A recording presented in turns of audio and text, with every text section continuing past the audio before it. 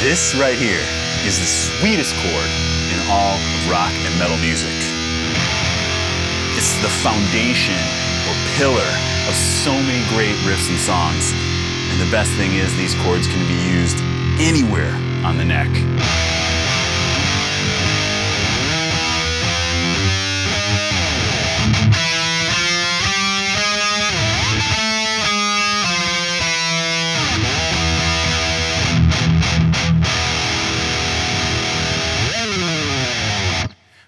Is exactly what it claims to be a powerful chord that has this metallic, emotional, and oftentimes aggressive sound, and is used in basically every rock and metal song known to man.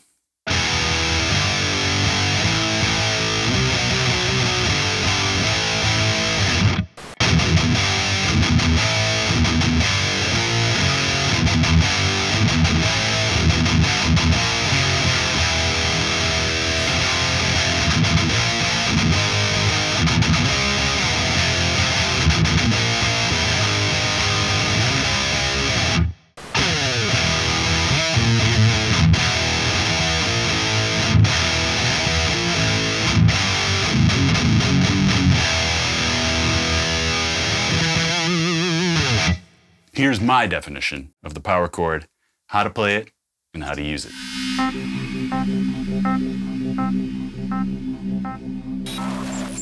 Okay, so I'm gonna try to explain this as easily as possible with kind of the guitarist in mind who's just starting out. You've dabbled around a little bit, you know how to hold a pick, you know how the guitar is supposed to sit and everything, but you want to get rocking a little bit more with some heavier chords, maybe get some songwriting going, playing along with some of your favorite tunes, all that. So I'm not going to use any complicated musical terms or get into theory really and stuff like that. I'm just going to tell you what I think is whatever you need to hear to be able to play these chords. First thing, we're starting out in an E standard tuning, E, B, G, D, A, E.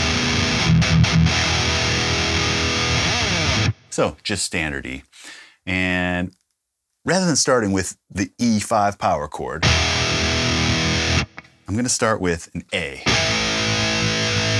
I know I said I wasn't gonna get too technical or anything like that, but eh, whatever. This is an A. And we get there by like this. E, F, F sharp, G, G sharp, A. Our root note, the lowest note of the chord, is the A. And the power chord is basically two notes. And a chord is two or more notes played together at the same time. So we're gonna start with A, fifth fret, sixth string, and then we're gonna go seventh fret of the fifth string, and we're gonna play those together. Fifth fret, sixth string, seventh fret, fifth string. And I call those three frets apart. One, two, depending on how you look at it, the fifth fret, the sixth fret, and the seventh fret. And that's the shape for all power chords, no matter where we are.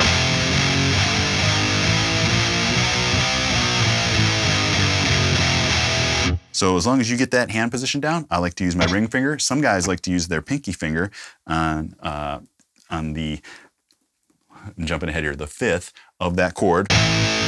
So that's the seventh fret of the fifth string. Some guys use their pinkies, as I was saying. I like to use my ring finger.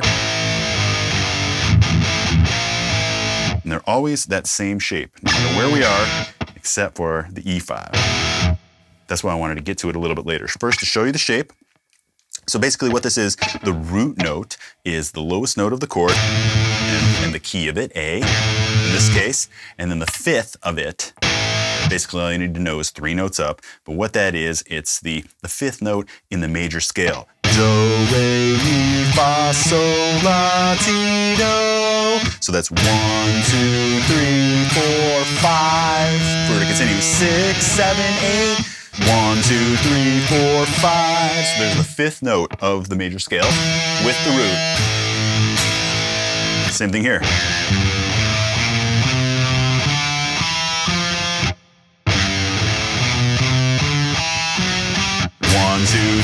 Four, five.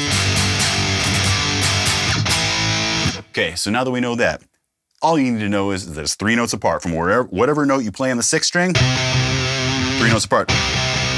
On the fifth string, here we are eight and 10. I like to refer to numbers more than notes, but trying to be somewhat, you know, industry standard here by saying the actual note names. But I learned with tablature, which is just lines representing the number, the strings, one through six, so the six lines, and they have numbers on there. That's what fret you're supposed to play. I like that better than notes. But knowing the notes is great too. Obviously, you know, it's like knowing the language. So I kind of know like a like a Spanglish or something, in a mix of English and Spanish, if you were to translate that into musical terms. I can make my way around with actual musical notation, but I really just know the numbers, and that's what all I need to. So that's what I'm going to explain to you. Back into A. We started with this, let's move it down.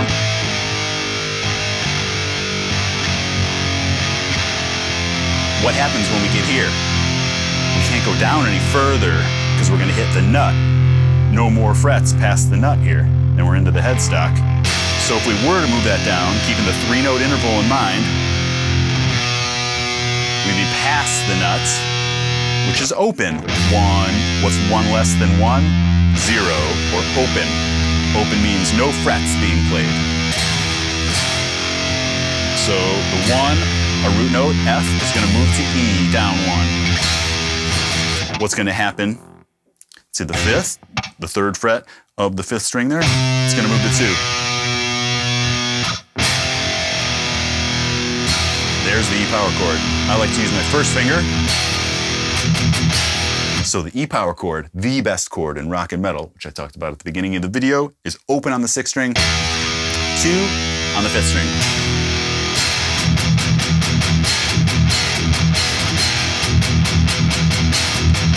Up one fret, a half step to F We just hit that box. One and three. O and two, O two, one, three, one, three, two, four, two, four, three, five, three, five, four, six, four, six, five, seven, five, seven. See, the interval or the amount of notes in between stays the same no matter what.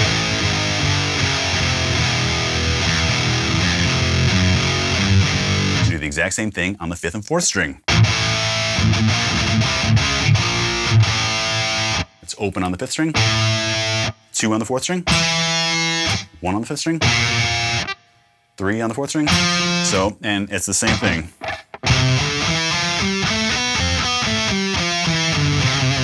So if we're at C here, which is the third fret on the fifth string, do, re, mi, fa, so, or one, two, three, four, five. It's the fifth note of that major scale, which you don't really need to know, but mostly everybody knows what do, re, mi, fa, sol, la, ti, do is. Even if you can't sing it in pitch or whatever, you just kind of can feel that out.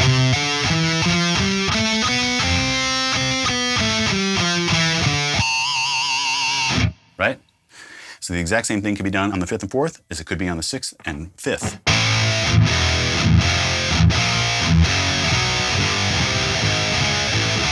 Like the sound of that? I do. So I'm just going one and three, on the sixth and fifth, then I move it to the fifth and fourth string. Same thing, one and three.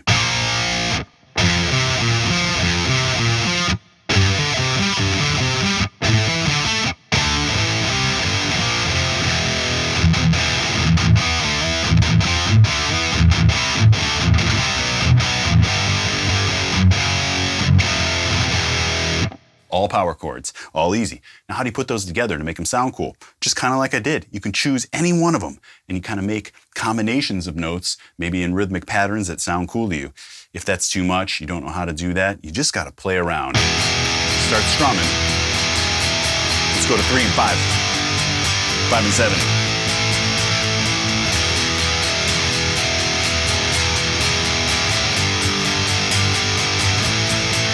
It's got a little happier sound to it, in my opinion. Majorish. Let's make it meaner. Let's go to two and four. Four or six and eight.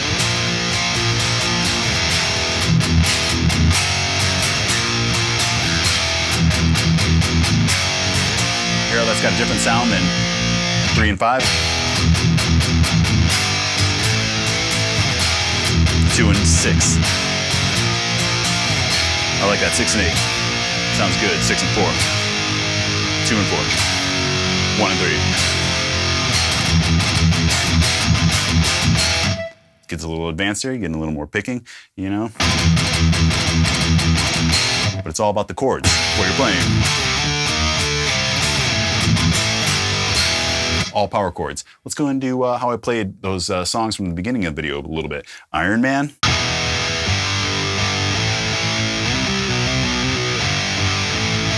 In case you want to do that one, here are the fret numbers. Open three, three, five, five, eight, seven, eight, seven, eight, seven, three, three, five, five, oh, three, three, five, five, eight, seven, eight, seven, eight, seven, three, three, five, five. Um, from the bell tolls.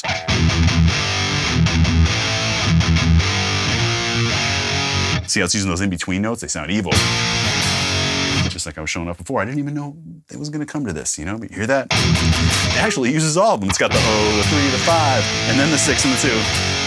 Wouldn't you, when you see that? Pretty cool.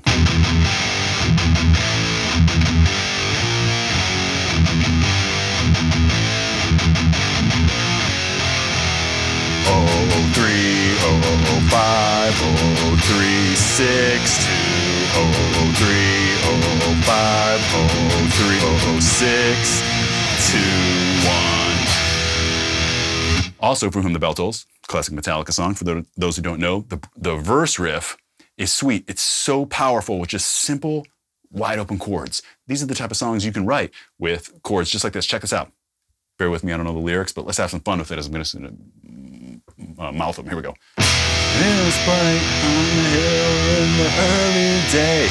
Constant chill deep inside. Shutting in this way. Running fight for the ride, yes, but who's to say? For a hill may kill, why we do not know. Sipping wounds just a. Many fights still out from the raging through. Guns and the pain that they surely know. For whom the bell tolls, time marches. So, lots of cool stuff. All power chords. Well, well smells like Teen Spirit. Most famous songs ever. Just a simple riff, power, four power chords. One, six, four, nine. Try that again. I think I said it right. One, six, four, nine.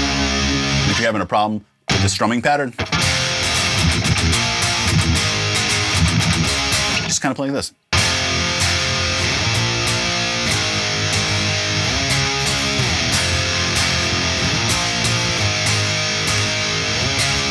It'll get the point across and it's such a memorable chord combination and progression that anybody that hears that will be like, oh, that's Nirvana.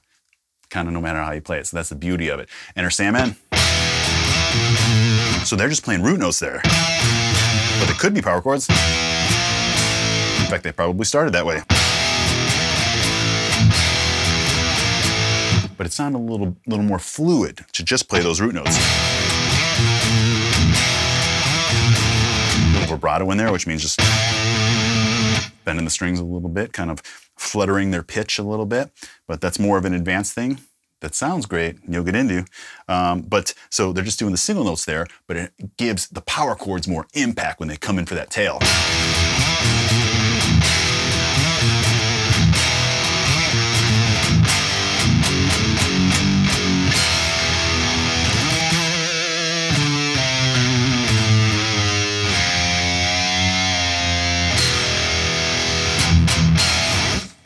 Power chord.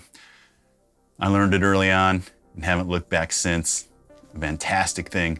What I recommend you watch next, I got two videos right here, one on E standard tuning if you need to learn that, and then another one on drop tuning, which is just dropping your sixth string a whole step, making power chords bar chords. They sound heavier, they're super fun to play, and they're awesome. Thanks so much for tuning in. I hope you enjoyed this and got something out of it. Share it with a young guitar player that you may know that you think it could help them, check out my guitar instructional DVD. If you'd like to learn more from me, it's got tons of tips, tricks, soloing stuff, songwriting, arranging, all that kind of stuff. Also have a wonderful Patreon community. We're doing tons of guitar tabs, backing tracks, all sorts of great stuff. So please look into that. Also have a huge guitar lessons playlist here on the channel. I'll link that for you below. Everything I talk about is always linked in the description below. Like this video if you liked it, and please explore some more of the videos here on my channel. Thanks for tuning in. See you on the next one.